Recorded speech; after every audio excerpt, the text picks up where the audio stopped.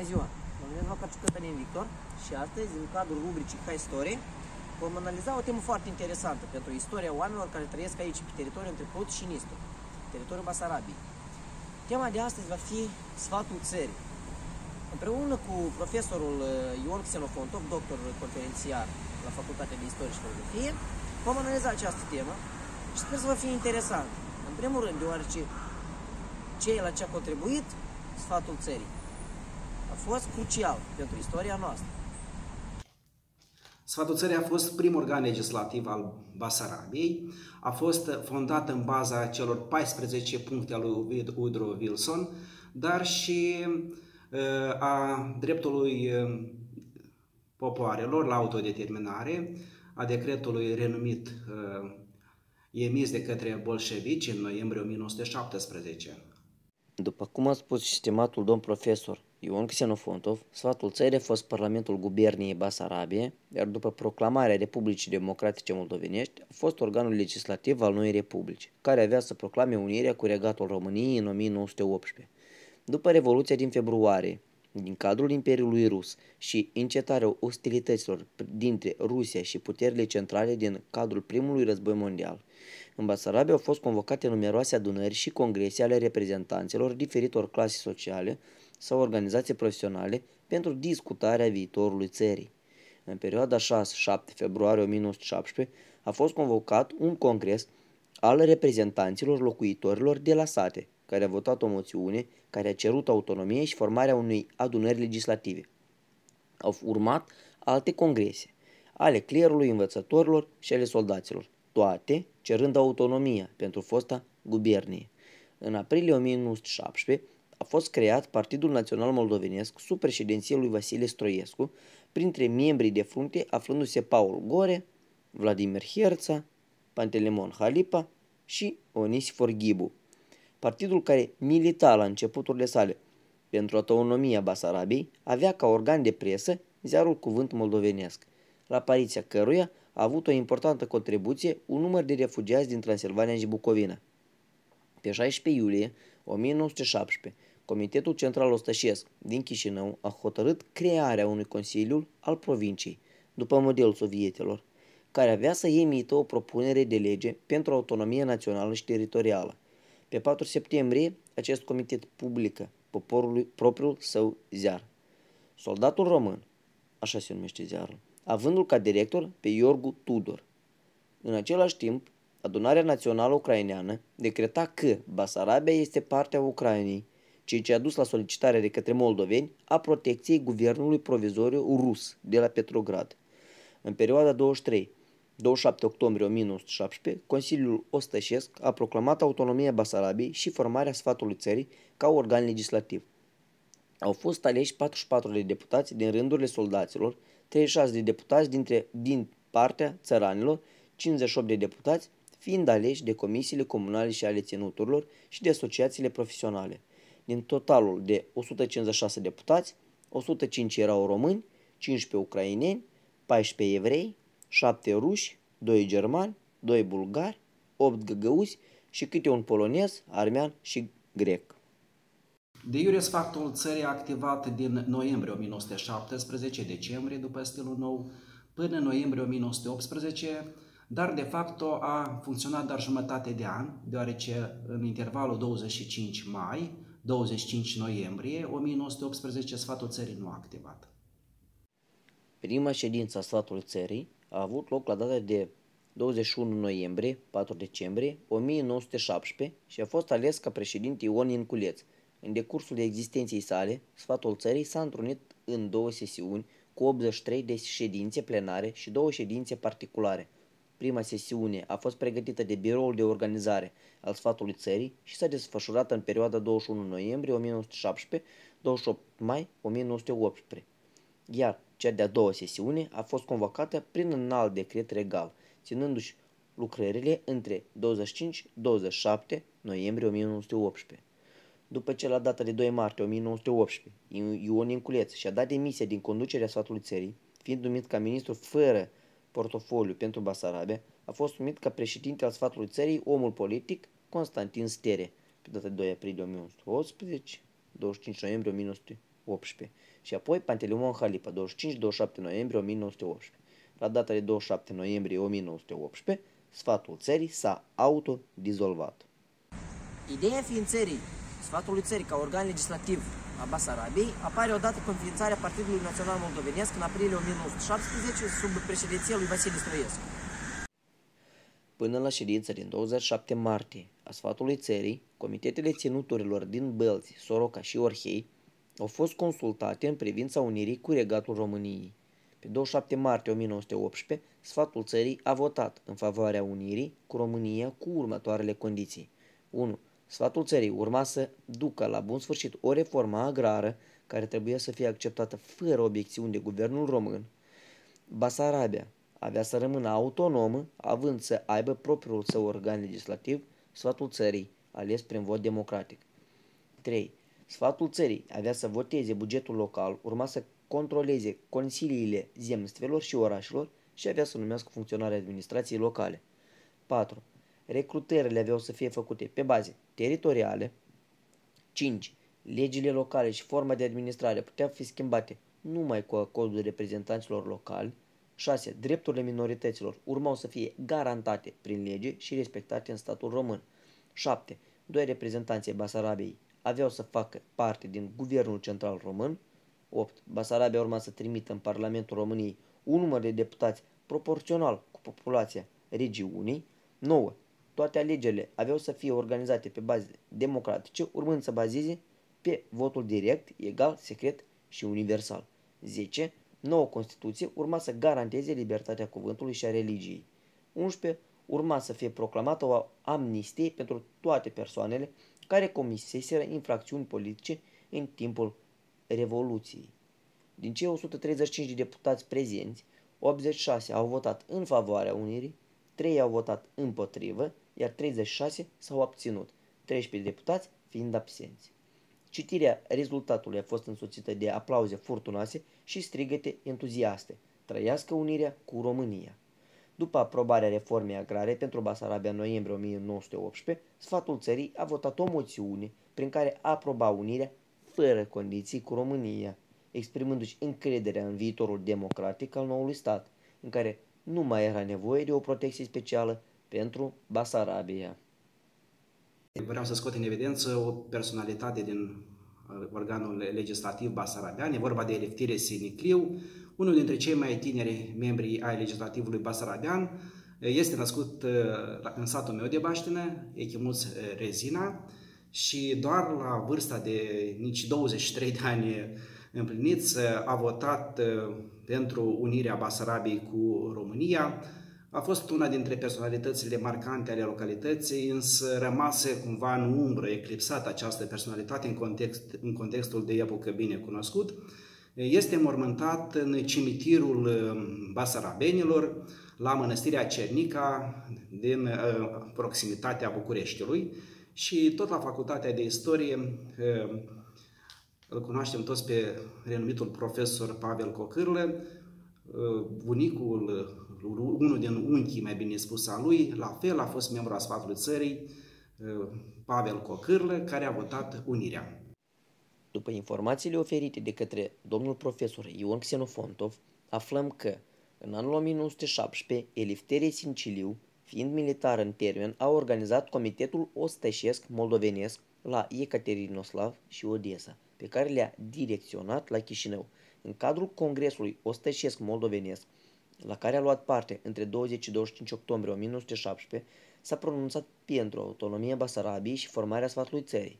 A fost ales deputat din partea județului Orhei, a exercitat funcția de secretar al biroului de organizare a sfatului țării. Fiind unul dintre cei mai tineri deputați ai sfatului țării, a votat la 27 martie 1918 unirea Basarabiei cu România. Elifterie Sinciliu a fost deputat și în Parlamentul României întregite, până la 18 februarie 1919. Fiind ofițer în armata Basarabiei în anul 1919, a organizat artilieria acestei provincii. La fel, a deținut diverse funcții administrative, președinte al Comisiunii de Exproprieri și Împroprietărire a județului Orhei, viceprimar al Chișinăului, membru al unor societăți comerciale, financiare și industriale din Basarabia. În 1940 s-a refugiat în România, a avut mai multe decorații, Ferdinand Coroana României, Steaua României. A decedat în 1979, după alte surse în 1980 și este înmormântat la mănăstirea Cernica din apropierea Bucureștiului, alături de alți fruntași ai sfatului țării, Pantelimon Halipa, Ioan Pelivan, Dumitru și Vlad Bogos. Soarta deputaților sfatului țării a fost sumbră. Regimul sovietic tinde să se răfuiască făuritorii Marii Uniri și începe a intenta dosare pe numele acestora. Mai târziu, aceștia mor în gulaguri și în închisori. Regimul de ocupație sovietic i-a arestat în primele luni pe deputații Teodosie Cojocaru, Teodor Uncu, Nicolae Secară, Teodor Neaga, Ștefan Botnariuc, preotul Alexandru Baltaga, Luca Știrbeț, Vladimir Bodescu, Ion Ignatiuc, Pantelimon Sinadino, Grigore Turcuman, Constantin Bivol și Ion Codreanu. Toți au făcut obiectul renumitului dosar penal numărul 824. Ulterior au fost arestați Nicolae Bivol, Ștefan Balamez, Gheorghe Druță, Vasile Gafencu, Dumitru Groapă, Ion Tudose. Niciunul dintre aceștia nu s-a întors din gulag cu excepția lui Dumitru Groapă și Ion Codreanu. Ion Codreanu a fost schimbat la 3 mai 1941 pe renumita cominternistă Ana Paucher. În literatura de specialitate se menționează că acesta este unicul caz de supraviețuire a unui deputat în sfatul țării capturat de bolșevici. Însă, pentru adevărul istoric, trebuie să spunem că Dumitru Groapă, deși a fost încarcerat într-un lagăr de peste Nistru, a reușit să se repatrieze la 23 mai 1941. Sovieticii nu știau că Dumitru Groapă a fost deputat în sfatul țării, ceea ce i-a salvat viața lui și familiei sale. După trecerea anilor de ocupație sovietică, nu se știe încă dacă și alți deputați au avut de pătimit. Un exemplu a persecutării deputaților sfatului țării de către URSS reprezintă dosarul cu numărul 824.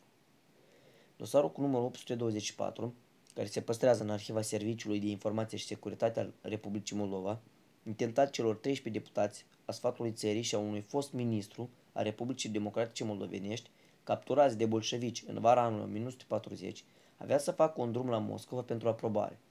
Nimic surprinzător, întrucât orice mișcare în Basarabia de după 28 iunie 1940 trebuia aprobată de metropolă. De data aceasta, încăvădistul numărul 1 a Republicii Sovietice Socialiste Moldovenești, majorul Sazichin, atribuind acestui dosar o importanță deosebită, îl expediază comisarului poporului al afacerilor interne din Uniunea Sovietică, Lavrenti Pavlovici Beria, pentru a-i se permite organizarea unui proces public. La sigur, Sazichin a urmărit și un scop propriu, o steluță pe epolet sau o altă recompensă, căci considera el capturarea acestor demnitari a fost uh, o operațiune de succes a nou formatului NKVD moldovenesc. Iată ce îi scria Sazichin lui Beria. Strict secret. Comisarului poporului al afacerilor interne din Uniunea Sovietică, comisarului securității de stat de rang întâi, tovarășului lui Beria. Vă expediez pentru examinare dosarul penal referitor la 14 persoane, membri activi ai mișcării contrar-revoluționare, blocul moldovenesc și sfatul țării. În dosar sunt incluși un cu Feodor Mihailovici, 1887 anul nașterii, deputat în sfatul țării, până la arest, funcționar public. Cojuhari Feodor Petrovici, 1879 născut, colonel al armatei țariste, ministru al apărării în sfatul țării. Ulterior a fost deputat în Parlamentul României. 3. Neaga Feodor Ivanovici, 1878. Până la arest a fost moșier. Bodescu Vladimir Gheorghevici, 1868 anul nașterii, naționalist de marcă, procuror al Curții de Apel. 5. Ignatiuc Ivan Gheorghevici, 1893 anul nașterii, până la arest a fost moșier. 6. Sinadino Pantelimon Victorovici, 1875 anul nașterii. Din 1907 până la 1917, membru al Dumei de stat a fostei Rusii țariste. Moșier, până la 1918 avea 4500 de hectare.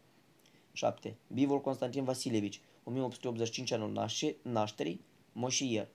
Codreanu Ivan Stepanovici, 1879 anul nașterii, până la rest a fost moșier. Cotelii Emanuel Grigorievici, 1883 anul nașterii. Fost ofițer, ofițer al armatei țariste, până la rest a fost moșier. 10. Șterbeț Luca Dimitrievici, 1889 anul nașterii membru marcant al Partidului țărăn, Țărănist. Până la rest a fost moșier. 11. Baltaga Alexandru Stepanovici, 1861 anul nașterii, a fost deputat în sfatul țării, are 12 ordine și medalii ale guvernului român. Până la rest, a fost mitropolit al Basarabiei. 12. Secara, Secara Nicolae Grigorievici, 1894 anul nașterii, a fost locțitor al ministrului apărării în sfatul țării, până la rest a fost moșier. 13. Turcuman Grigore Nicolaevici, 1890, fost ofițer al armatei țariste, până la rest a fost moșier. 14. Botnariuc Stepan Mifodievici, 1875 anul nașterii, membru marcant al partidelor burgheze. Până la rest a fost moșier. În timpul cercetărilor s-a confirmat întru totul că aceste persoane în anul 1918 au săvârșit ruperea forțată a Basarabiei de la Uniunea Sovietică și au alipit-o la România, fapt pentru care au primit de la guvernul român câte 50 de hectare fiecare. Plus la aceasta, aceste persoane au exercitat o activitate contrarevoluționară pe teritoriul Basarabiei până în ziua venirii Armatei Roșii. Activitatea lor criminală în fața poporului moldovenesc a fost demonstrată întru totul, atât prin materialele anchetei, cât și prin documentele ridicate din Arhiva de Stat Română și Arhiva Siguranței. Atribuind acestui dosar o importanță politică mare, dar și de agitație pentru truditorii Moldovii, prin vânzarea fățișă a Basarabiei prin intermediul afacerilor tainice a blocului moldovenesc cu guvernul român și Rada Ucraineană, rog să aprobați organizarea unui proces public pentru acest caz. Dosarul penal numărul 824, în trei volume, privind participanții contrarevoluționari din blocul moldovenesc și sfatul țării. Comisarul poporului al afacerilor interne din RSSM, major al Securității de Stat, Sazichin, 15 septembrie 1940, numărul 603, orașul Chișinău. Dosarul, după cum se află mai mult de patru luni la Moscova, se întoarce la Chișinău fără careva indicații. Lavrent Iberia nu are timp să se ocupe și de soartă încă la 14 nefericiți basarabeni. Veneau vremuri, vremuri tulbure pentru Derutat că n-a primit nicio indicație, anchetatorul Cerepanov constată acest fapt printr-un certificat. Certificat. Dosarul de anchetă numărul 824 privind învinuirea foștilor membri ai guvernului contrare, contrarevoluționar, Sfatul Țării și Blocul Moldovenesc a fost expediat la NKVD URSS, unde s-a aflat de la 15 septembrie 1940 până la 28 ianuarie 1941. Cauzele reținerii acestuia la NKVD URSS nu sunt cunoscute nouă. Anchetator superior al secției ancheta a NKVD RSSM, locotenent inferior al Securității de Stat, Cerepanov. Nu s-a reușit desfășurarea unui proces public, dar și fără procesul public, figuranții acestui dosar n-au supraviețuit. Toți au fost exterminați în gulagurile sovietice. Iată și soarta lor. Teodor Uncu moare în penitenciarul din Chișinău. Teodor Cojohar moare în penitenciarul din Chișinău. Teodor Neaga moare în gulag în Penza, Rusia. Vladimir Bodescu moare în gulag penitenciarul numărul 4 din orașul Cistapol, Republica Autonomă Sovietică Socialistă Tătară. Ion Ignatiuc în gulag moare în Republica Sovietică Socialistă Tătară. Pantelimon Sinadino moare în gulag în URSS, locul necunoscut. Constantin Bivol moare în gulag penitenciarul numărul 4 din orașul Cistopol din aceeași Republică Tătară. Emanuel Cotelli moare în gulag în penitenciarul numărul 5 din orașul Serlovsk, URSS. Luca Șterbeț moare în gulag în penitenciarul numărul 4 din orașul Cistopol, aceeași Republică Sovietică Tătară. Alexandru Baltaga moare în gulag, orașul Kazan, Republica Sovietică Socialistă Tătară. Nicolae Secară moare în Penza, în gulag, în Rusia. Grigore Turcuman moare în gulag, în Penza, Rusia. Iar Ștefan Botnariuc moare la fel în Gulag, în Penza, Rusia. Acestea fiind spuse, vă mulțumesc pentru atenție, mulțumim domnului profesor Ion Xenofontov pentru ajutorul acordat în realizarea acestui videoclip. Încă o dată vă mulțumesc pentru atenție și vă îndemn să fiți cu ochii pe noi, pe canalul de YouTube a Facultății de Istorie și Filozofie, deoarece vă așteaptă niște lucruri foarte interesante. Pe curând!